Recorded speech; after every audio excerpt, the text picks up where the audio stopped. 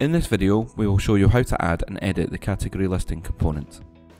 The category listing component displays a listing of the products from a shop category within a normal page, allowing you to create a completely custom category page. To add this component, click the Add option button, and then under the Shop tab, click the category listing component. Click anywhere on the component to choose which category to display. Click OK to apply the changes.